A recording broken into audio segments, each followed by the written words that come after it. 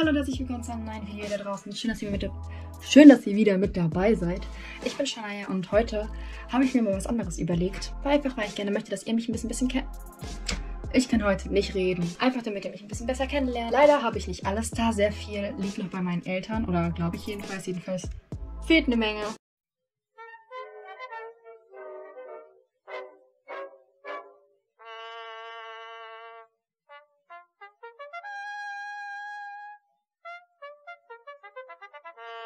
Und ich muss auch ehrlich sagen, ich habe zu diesen ätzenden Kindern gehört, die ihre Zeichnungen und Bilder mitziehen, sie nicht ganz zu 100% zufrieden waren, immer zerrissen, zerknüllt oder teilweise sogar in den Ofen geschmissen haben. Also das ist schon sehr dramatisch alles gewesen damals. Ähm, ich habe also leider nicht die schlechtesten Bilder da, weil die einfach nicht mehr existieren. Ich habe also nur das Beste von damals immer da. Das heißt, Sogar wenn ihr jetzt teilweise denkt, oh, das sieht aber ganz gut aus. Das war halt auch wirklich die Ausnahme. Also freut euch auf jeden Fall auf ein langes Video.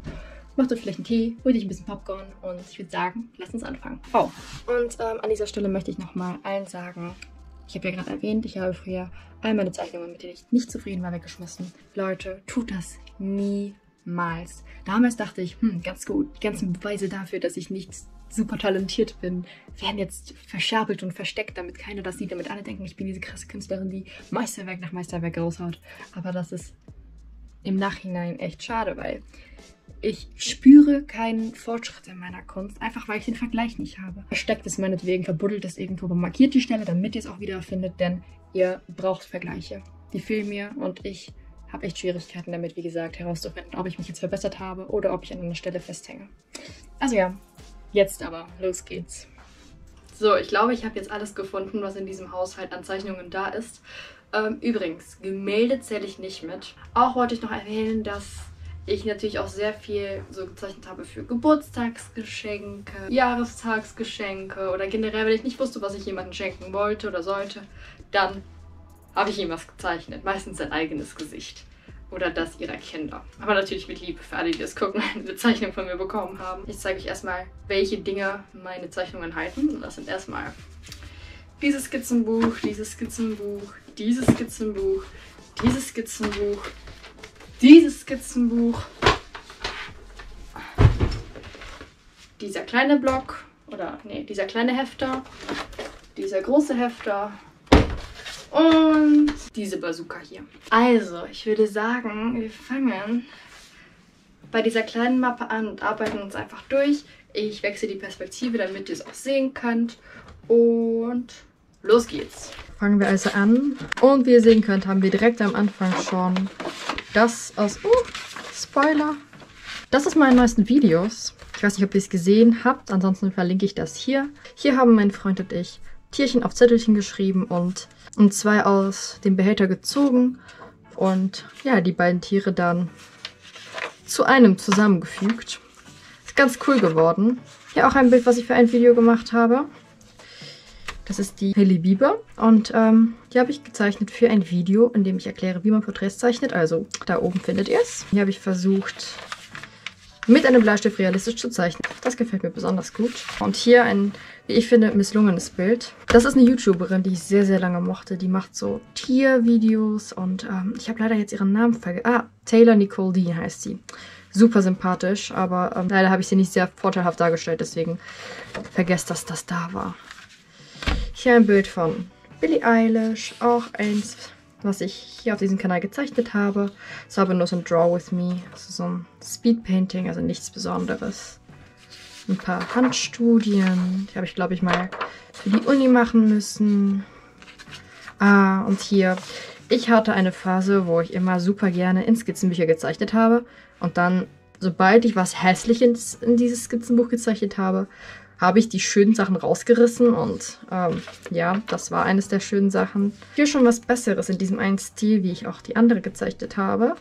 Das war so eine Phase von mir, da habe ich unheimlich gerne mit Wassermalfarben gearbeitet und dann mit Feinliner drüber skizziert, um das ein bisschen so einen Retro-Look zu geben. Und ich finde es ehrlich gesagt ziemlich cool. Ihr werdet Melanie Martinez übrigens öfters sehen, weil ich bin ein Die-Hard-Fan von Melanie Martinez. Also macht es schon mal gefasst. Ah, hier Tate aus American Horror Story. Und ja, ich halte den gerade richtig rum, weil Der ist aus American Horror Story und sein Slogan ist Normal People Scare Me, also auf Deutsch, normale Menschen machen mir Angst. Richtig rumzustehen ist normal und der ist ja nicht normal und vielleicht habe ich es auch gemacht, weil sein Gesicht ein bisschen missraten geworden ist. Also nicht, ach, keine Ahnung, also so sieht er richtig rum aus. Irgendwas stimmt nicht und ich weiß nicht was und sobald man das Bild umdreht, ist das Problem weg. Das war eines meiner allerersten Bilder, wo ich versucht habe, hyperrealistisch zu zeichnen. Und ich war so stolz auf dieses Bild. Ich habe so lange dafür gebraucht. Bin dann runter zu meinen Eltern und habe es ihnen gezeigt und die waren super stolz und meinten so, wow, Shania. Und dann haben sie es genommen und es ans Fenster gestellt und wirklich ungelogen, eine Stunde später komme ich zurück und habe gesehen, dass eine Fliege drauf gekackt hat. Seht ihr das hier? Das sind Fliegenkackers. Welche Fliege macht sowas? Warum kackt man auf Zeichnungen? Das gehört sich nicht. Und ich habe schon versucht, das ein bisschen mit Tippex abzudecken, aber es kommt immer durch. Also, ja. Bild von Jodie, nochmal in diesem Stil. Nochmal ein Bild in den Stil. Diesmal Aurora, auch eine super, super Sängerin. Aber dieses Bild gefällt mir persönlich nicht so gut. Die sieht so blass aus. Auch wenn sie super blass ist. Aber auf dem Bild sieht es aus wie ein Fehler. Ah, und hier einmal Triss von Die Bestimmung. Also ich lese ja unheimlich gerne und Die Bestimmung war tatsächlich das Buch, was mich wieder verbunden hat mit dem Hobbylesen. Ich habe früher Sternenschweif gelesen, das kennt ihr bestimmt. Und dann habe ich ganz lange nicht mehr gelesen und dann habe ich den Trailer zu dem Film gesehen und dachte mir so, komm, da gibt es ein Buch zu. Ich möchte gerne wissen, wie der Film geht. Dieses Buch hat dafür gesorgt, dass ich jetzt heute unheimlich gerne lese. Deswegen hat er immer ein Plätzchen in meinem Herzen. Und ich sollte übrigens noch sagen, dieses Bild ist auf Druckerpapier gezeichnet mit nur einem einzelnen Bleistift, weil wir da im Urlaub waren. Also ja, für alle Leute, die sagen, oh, ich habe aber kein fancy Papier und nicht 500 Stifte, es geht auch ohne. Aber ich finde tatsächlich, also ich war damals 14, ich war 14, als der Film rauskam. Und ich finde, dafür, dass ich 14 Jahre alt war, bin ich richtig stolz auf dieses Bild. Noch mehr Melanie Martinez und noch mehr aus einem Buch rausgerissene Seiten. Und das war vor allem voll die coole Seite. Guck mal. Ich bin so ein Eumel. Und nochmal Melanie Martinez. Und dieses Bild bedeutet mir ganz, ganz viel. So, das war das erste Bild, wo ich ähm, diese Taktik angewandt habe mit der Wassermalfarbe und mit den Feinlinern. Und danach habe ich das super lange durchgezogen. Und ich muss sagen, ich keine Ahnung, ich finde dieses ganze Bild hat einfach so einen coolen Vibe, weil ich das auch mit Klebeband hier festgeklebt habe. Die Ecke fehlt da oben, nicht mal absichtlich. Ich gehe einfach nur richtig scheiße mit meinen Bildern um. Und ich finde, es ist irgendwie cool. Ich mag das sehr gerne, das Bild. Verzeiht mir, wenn ich das jetzt falsch ausspreche, aber Tarotkarten? Ta Tarotkarten? Ich habe versucht, diese Karten zu zeichnen. Ähm, ich wollte so meine eigene Kollektion machen. Früher stand ich da voll drauf. Mittlerweile weiß ich nicht mal mehr, wie sie ausspricht. Obwohl ich sie immer noch super interessant finde. Und das war so die Skizze. Und hier habe ich versucht, das umzusetzen. Habe es nie durchgezogen, aber ich fand es trotzdem ganz cool. Aber ich glaube, ich muss auf jeden Fall nochmal auf diese Idee zurückkommen. Also ich fand das eigentlich ein ganz cooles Projekt. Aber ähm, muss mich zuerst mal ein bisschen damit auseinandersetzen, denn ich weiß, es gibt richtig die Leute, die da voll drauf fokussiert sind und ich möchte diese Leute nicht beleidigen mit meinem Unwissen. Oh, okay, warte, da muss ich euch zuerst was anderes zeigen. Eines meiner größten Hobbys ist es zu schreiben und ähm, ein Buch, das einzige ehrlich gesagt, was ich je beendet habe oder das einzig richtig große Buch, was ich je beendet habe. Das sind Illustrationen, die ich dazu gemacht habe. Ich war damals 13, als ich mit dem Buch angefangen habe. Dementsprechend sind die Bilder schon was älter. Ich meine, guck mal, man kann einfach durch dieses Blatt hindurch gucken. Und ja, das sind einfach, es gehört alles dazu. Alles Bilder, die ich gezeichnet habe für mein Buch, weil ich das so gerne illustrieren wollte. Ganz viele Bilder für mein Buch. Ja, sogar das gehört auch noch dazu. Es war halt immer so ein ewiges Projekt. Es ist immer noch so ein Projekt von mir. Also ich bin immer noch dabei, das zu verbessern und zu verbessern, weil ich meine, ich habe das Buch geschrieben, als ich 13 war, habe es ein Jahr lang weggelegt, dann habe ich es nochmal durchgelesen, als ich 14 war, habe Fehler gefunden, es verbessert und dann immer wieder und wieder und wieder. Mittlerweile habe ich das Buch dreimal neu geschrieben. Ähm, ja, ich habe sogar versucht, einen kleinen Manga daraus zu machen. Ich habe den ersten Teil sogar ganz cool hinbekommen, aber ich habe schnell gemerkt, dass es viel zu viel Arbeit ist und ich bin ehrlich, ich dieses Charakter, also dieses cartoony, manga-mäßige Zeichnen, das, das liegt mir einfach nicht. Ich mag es voll gerne, aber ich habe wirklich Schwierigkeiten damit. Also irgendwann muss ich mich auf jeden Fall damit auseinandersetzen. Aber bis dahin drücke ich mich weiterhin davor. Ein Selbstporträt und eine lustige Fliege. Das ist die nächste Mappe. Die ist noch recht neu. Die habe ich von meiner Mama bekommen vor, ich glaube, einer Woche oder so. Aber alles da drin ist super alt. Ehrlich gesagt habe ich keine Ahnung mehr, was ich da alles drin habe. Also ich hole mal alles raus. Also, zuallererst haben wir diese Meerjungfrau. Ich weiß noch ganz genau, wann ich das gezeichnet habe, weil ich hatte, warte, ich hole sie mal, hier diese super fancy Stifte neu gekauft. Ich meine, guck sie euch an. Ich habe sie immer noch. Und ähm, die musste ich natürlich ausprobieren. Und habe ich diese Meerjungfrau gezeichnet. Anatomie hier, die ist fragwürdig und ich habe den Mund auch nie hinbekommen. Aber ich finde trotzdem die Idee ganz cool. Also ich glaube, ich muss das nochmal aufbessern. Also das Bild nochmal zeichnen. Aber jetzt ähm, fünf Jahre später. Und oh mein Gott. Oh, hm, das hier, Damen und Herren, ich präsentiere euch das älteste Porträt, was ich besitze. Dieses Bild ist von 2013, das heißt, ich war 13 Jahre alt, als ich das hier gezeichnet habe. Und ich hatte auch davor schon Porträts. Aber wie gesagt, das waren all die Porträts, die jetzt weg sind, verschwunden. Ich weiß nicht mal, ob ich die zerstört habe. Ich wusste, dass ich die alle so, so super fein säuberlich in der Mappe hatte. Diese Mappe ist einfach verschollen. Aber ich glaube ehrlich gesagt, dass ich sie ähm, habe verschwinden lassen und es einfach nicht mehr weiß. Und ach Gott, guck mal, wie schlecht ich mit meinen Bildern umgehe. Ja, auf jeden Fall Carly Ray Jepsen, das war so, sorry, wenn ich das falsch ausspreche, ähm, das war so die Call Me Maybe Zeit und ähm, ich war ein kleines Fangirl. Was haben wir hier? Ach, eine Perspektivenstudie zu einer Dior-Flasche. Oh, übrigens, da fällt mir ein, ich habe noch eine ganze Mappe an ähm, Zeichnungen, die ich für die Uni gemacht habe oder die ich während meiner Unilaufzeit gemacht habe. Die habe ich leider nicht hier, die ähm, lagere ich in der Uni selbst und da komme ich im Moment nicht rein. Aber wenn ihr die gerne sehen möchtet, dann ähm, schreibt es auf jeden Fall in die Kommentare, dann überlege ich, ein kurzes, knappes Video zu meiner Unimappe zu machen. Das ist bestimmt ganz interessant für die Leute. Oh, und übrigens, ich studiere Produktdesign damit ihr überhaupt wisst, was für eine Mappe das ist. Und hier ist auch ein kleines Projekt aus der Uni. Ähm, dieses Bild hier drunter ist tatsächlich eins, was ich vor Jahren mal gezeichnet habe. Aber dann hatten wir ähm, das Fach Linoldruck. Und da mussten wir halt unsere Linolplatten da benutzen, um coole Projekte zu machen. Und dieses Bild hat mir nie wirklich gefallen, was da drunter war. Und dann dachte ich, komm, ich hau einfach dieses Gitter und dieses Pflanzending drauf und Jetzt sieht das da drunter umso besser aus, weil man die kaputten, falschen Details nicht sieht und ich hatte eine ganz gute Note bekommen. Also hat es sich gelohnt.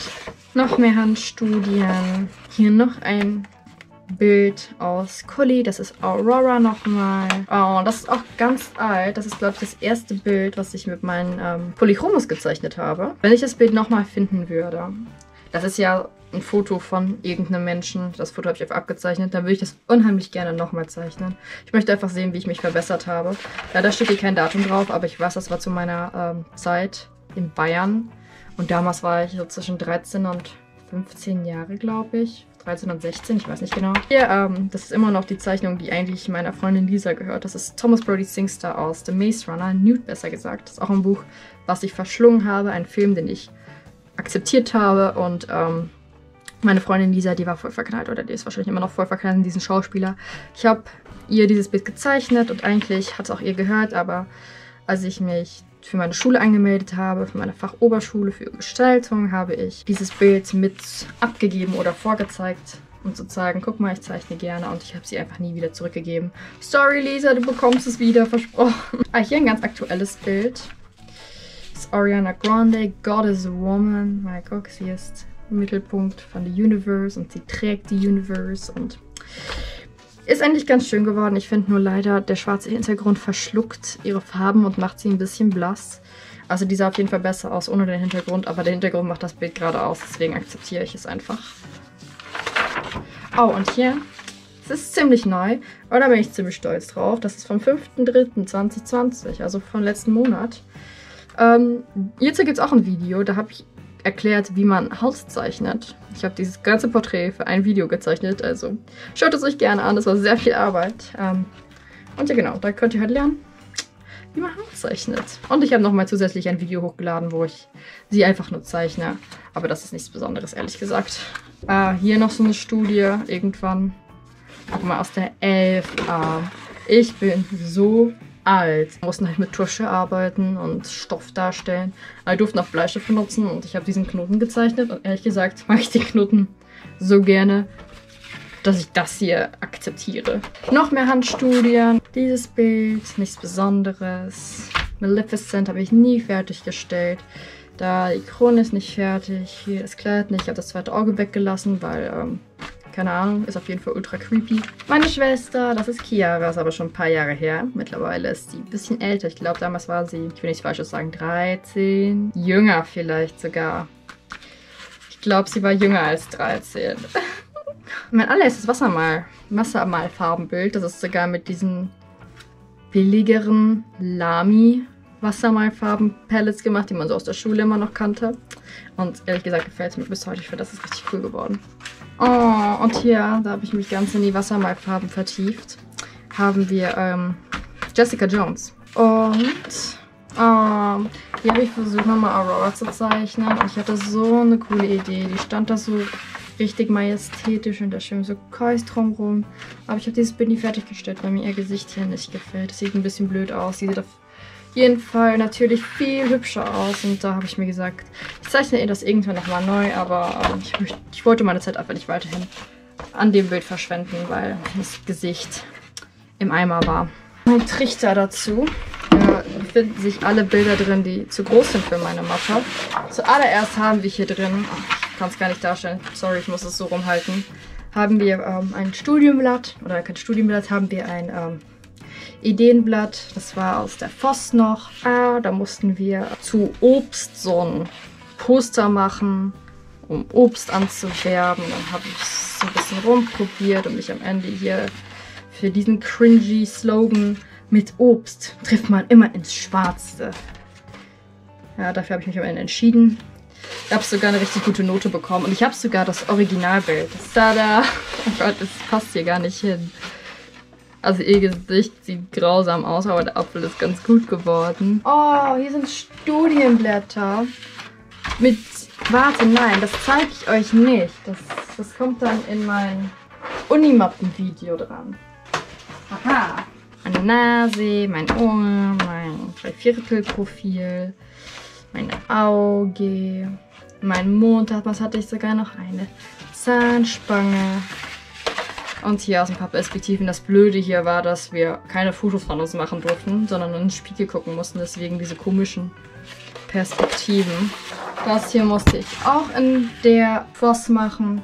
Klasse 11b, ein Studienblatt zu einem Brötchen und einer Tomate. Das hier habe ich auch an der Uni gemacht und wir mussten ein Perspektivenbild machen. Und Leute, ich bin echt zufrieden mit dem Bild. Guckt es euch an, was das auf euch einwirkt.